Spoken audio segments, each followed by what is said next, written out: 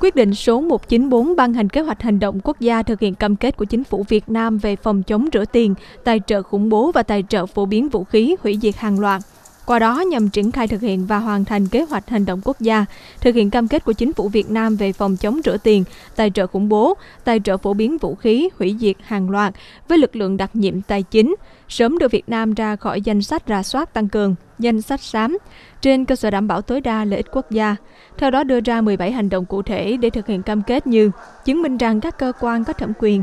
đã nâng cao hiểu biết về rủi ro rửa tiền, tài trợ khủng bố và đang thực hiện các hành động để giảm thiểu rủi ro thông qua các chiến lược và chính sách phòng chống, tăng cường hợp tác chính thức, dẫn độ và tương trợ tư pháp đa phương và hợp tác không chính thức với các đối tác nước ngoài, chứng minh việc hợp tác và phối hợp giữa các cơ quan chức năng để ngăn chặn việc trốn tránh các biện pháp trừng phạt, vân vân.